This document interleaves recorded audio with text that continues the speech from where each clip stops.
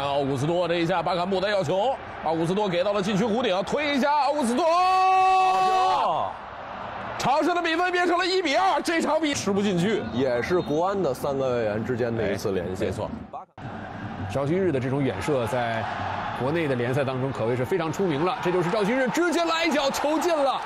世界波哦，对不起，是王永珀。啊，王永珀这次正脚背打的其实是非常的精彩，皮球在整个运行过程当中，亚冠和中超都有进球了，这就是一脚远射，世界波是出现了这样一个破门啊，古德里应该是远射，一点问题都没有。但是一个后腰出去之后，另外一个后腰是一定要回来的。